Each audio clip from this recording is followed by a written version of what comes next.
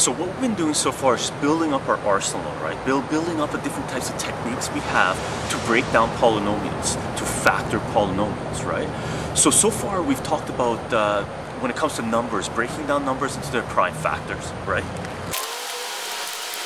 Right. So we can break down numbers uh, from the real number set into their prime factors, and mainly we apply this to the rational numbers, right? So we can just break things down into their prime factors. We've talked about the GCF. We've talked about the GCF, the greatest common factor. So any any multiple terms together, you know, added or subtracted together, we look at the multiple terms and see what's common between them. We're bringing them out, right? We've talked about the difference of squares. We've talked about the difference of squares where two things subtracted from each other, we can factor them into the square root of 1 minus the square root of second, square root of 1 plus the square root of second. And we've talked about simple trinomial factoring, and trinomials are of the following form, right? So trinomials are of the following form, ax squared plus bx plus c, where a cannot equal 0, and for simple trinomials, a has to be equal to 1, right? So for simple trinomial factorings, the, one we, the ones we've done so far, a does not equal 0, because if a equals 0, this would no longer be a quadratic equation. This would disappear, right? So we want the x squared term in there. And we've done the simple trinomial where a is equal to 1. So basically what we have is of this form. It's x squared plus bc plus bx plus c. And these ones we know how to factor. Uh, and we've already talked about, right? So what we're going to talk about right now is complex trinomial factoring, where a is not equal to 1. So a can't equal 0, and a doesn't equal to 1 because if it equaled 1 that's a simple trinomial fact. That's a simple trinomial and factor those things right? So what we're going to start talking about now is factoring complex trinomials. And complex trinomials are the form or the following form where a doesn't equal 0 and a doesn't equal 1 so we actually end up with a number a coefficient in front of the x squared okay? The one thing you got to be careful with is if there's a number in front the x squared, what you should look for is the GCF first. Because the GCF, you always look for that first. Because if you can take out a greatest common factor, out of, you know, if, if there's a number in front of the x squared, and if you can take the greatest common factor out, and you can get x squared by itself just by the G GCF method, then that just becomes a simple trinomial. A trinomial, and we've already talked about those, right? So basically we're going to start talking about factoring trinomials where we can't take the a out just by taking out the GCF, okay?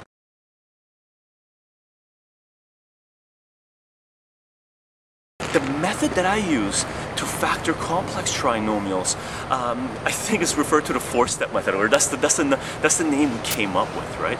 In general, most uh, teachers that I've encountered um, from you know uh, from students from different different schools is what they end up using, what they teach, uh, what they teach their students, or most schools in the curriculum, but in my area anyway, they teach them to do the uh, what's it called, the decomposition. Okay, now decomposition, I don't like it. Uh, I actually hate it. It's it's it's not a, it's not a really an algorithm, right?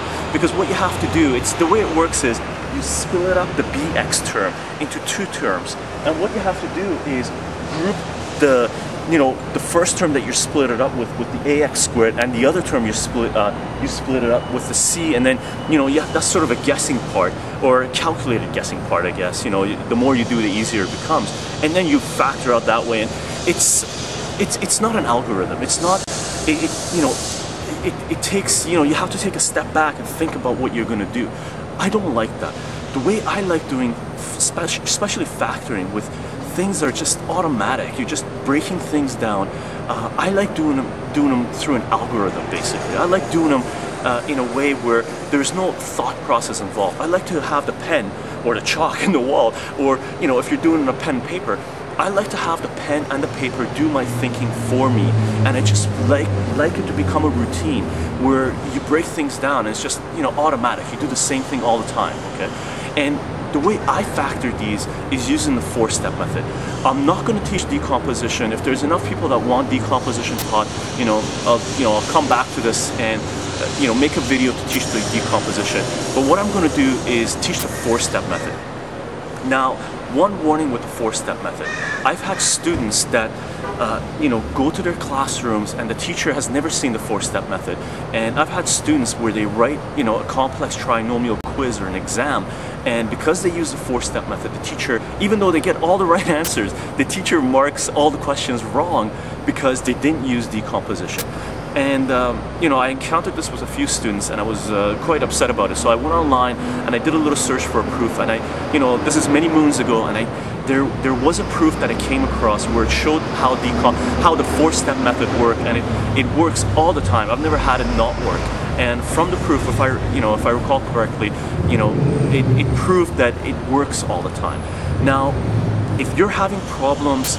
Uh, in school, in the class that you're in, where your teacher doesn't like this method that I'm about to teach you, uh, you know, drop me a line and I'll dig up the proof again, or you know, show them this video. You know, tell them how it works, where you learned it, and it works all the time. And it's it's it's a very quick algorithm. It's so big warning for you know the complex trinomial information coming up.